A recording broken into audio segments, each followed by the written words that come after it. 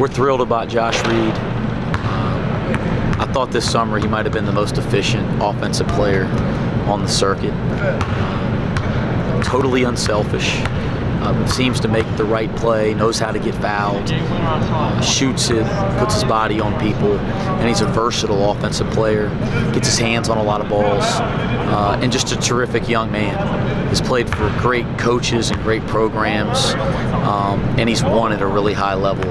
And so I think he fits us in a lot of ways here at UC.